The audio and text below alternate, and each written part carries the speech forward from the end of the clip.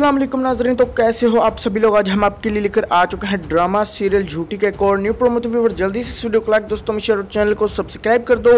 तो चलिए जल्दी से वीडियो को स्टार्ट कर लेते हैं।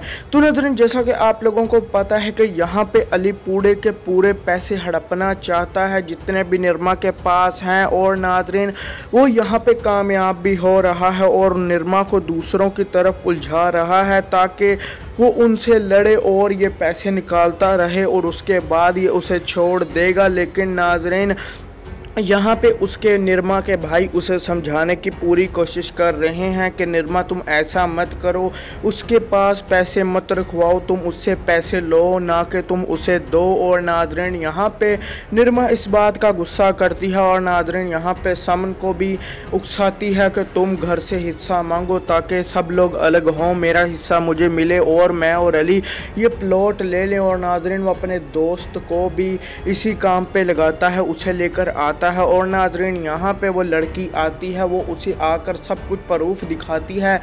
लेकिन नाजरीन, यहाँ पे उसके तो पट्टी बंद चुकी है, उसकी आँखों पे निरमा की, लेकिन नाजरीन, वो फिर भी भरोसा नहीं करती।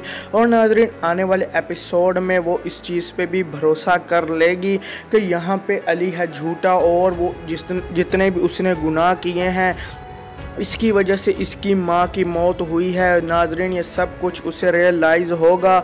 और नाजरीन, वो अपने भाइयों से अभी माफ़ी नहीं मांगेगी क्योंकि नाजरीन, अभी तक उसे इसकी सच्चाई नहीं पता चली अली की। और नाजरीन, यहाँ पे अभी मज़ीद एपिसोड उस, वो इसे लूटेगा। जब उसका काम निकल जाएगा तो वो किसी और लड़की के साथ शादी कर लेगा और निर्मा को छोड़ देगा और उसने जूबिया से भी वो बदला लेती रहेगी।